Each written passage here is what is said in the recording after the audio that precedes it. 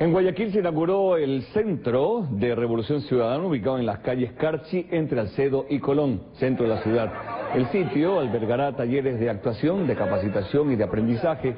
En el, al evento asistió el vicepresidente Jorge Glass, Doris Solís, Marcela Guiñaga y Viviana Bonilla, secretaria nacional de Gestión Política, así como también delegaciones de cantones como Juján, Naranjal, Daule, Playas y Novo.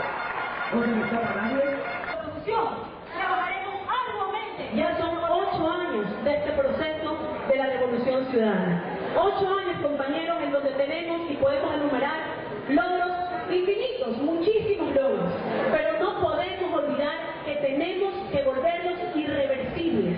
Ese es el desafío que ahora tenemos.